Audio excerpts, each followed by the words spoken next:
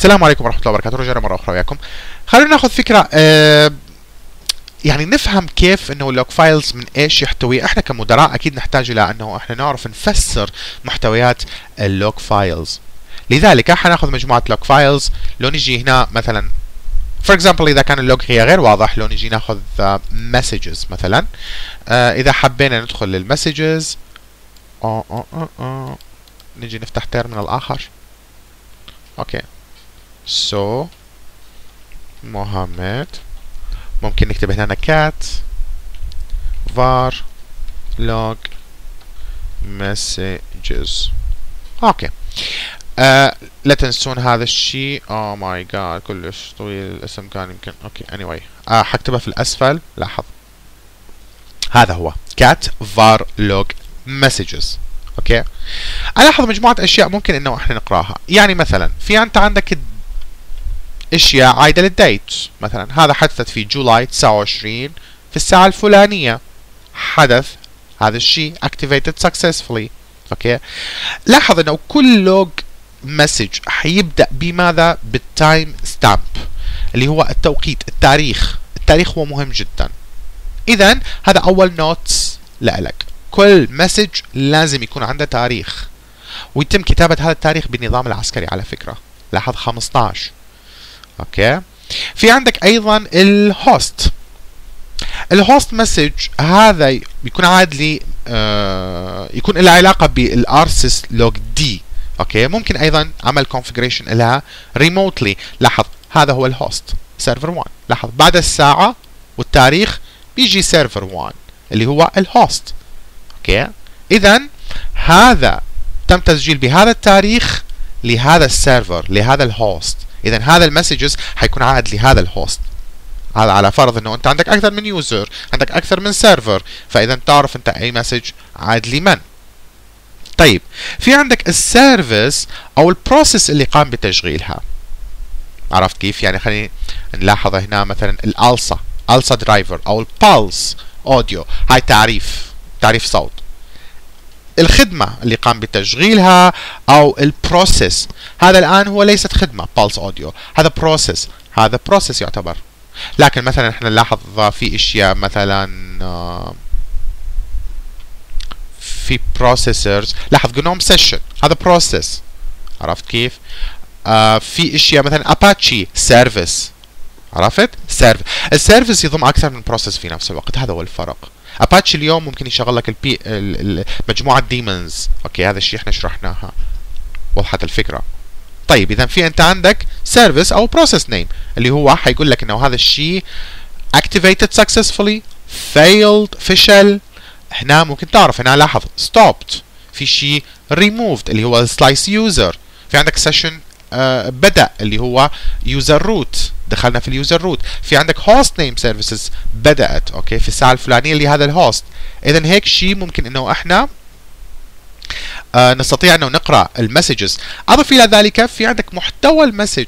اليوم لما يقول لك هذا ال D-Bus daemon هذا process لما اشتغل هذا بيحتوي على ال message. طيب شو هو ال message؟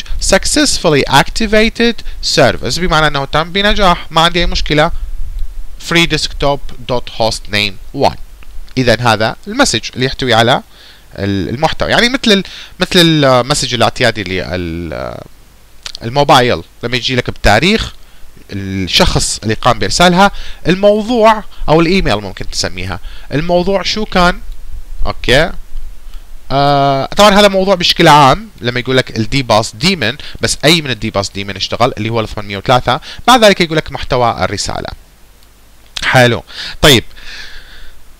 في حالات إحنا ممكن نعمل live log file يعني إنه في حالة ال monitoring إحنا اليوم لما نشغل services HTTP Samba أو أي شيء كان ممكن أيضا مش فقط إنه إحنا نشوف هذا اليوم هذا تم تنفيذها خلاص صح؟ إحنا ممكن أيضا نس...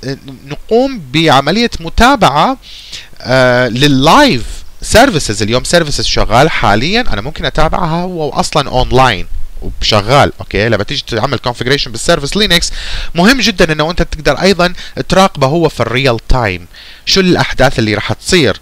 مثلا تفتح لك terminal ين okay؟ عندك session ين موجودة في داخلها. نفس الوقت بال session الأول مثلا أنت بتراقب بيها log file معين. بال session الثاني ممكن تراقب بيها log file آخر أو خدمة أخرى. عرفت كيف؟ أيضا تستفاد من هذا ال command اللي هو tail minus f. okay؟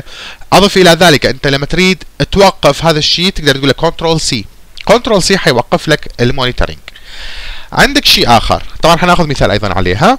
عندك شيء آخر اللي هو كيف أستخدم ال logger. ال logger المسجل. ال logger بعض الخدمات يتم كتابة ال informations داخل ال log file. ب آه بتحكمهم هو.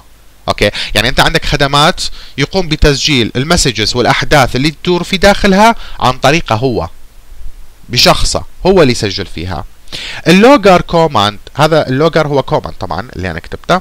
آه وتكتب بعدها هذا ال command بيستخدم إنه أنت تقوم بتفعيل أو تسمح للمستخدم إنه يقوم بكتابة ال messages لل rsyslog rsyslog هذا الشيء.